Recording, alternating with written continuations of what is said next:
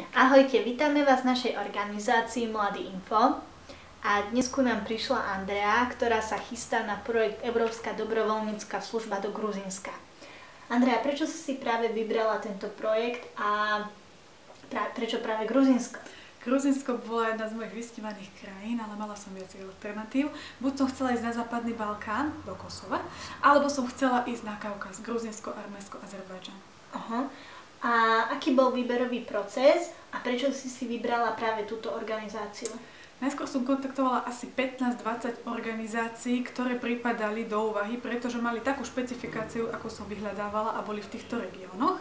Z nich sa mi ozvalo možno 5 organizácií, že by chceli dobrovoľníka na mm-hmm. rok 2012. No a s týmito gruzincami som mala taký najintenzívnejší a najkvalitnejší kontakt. Mm-hmm. Poslala som im potom motivačný list na dve strany zameraný na to, čo by som v živote chcela, čo by som Gruzinsku chcela a tak ďalej. A nejako sme sa tak dohodli a potom spomedzi tých motivačných listov vybrali mňa a ešte jednu osobu. A čo očakávaš od tohto projektu? Očakávam, že sa naučím po gruzinsky a očakávam, že sa zoznámim s históriou a reáliami na Kaukaze. Mm-hmm. Tak ti prajeme všetko dobré a stretneme sa o rok. Ďakujem, majte sa.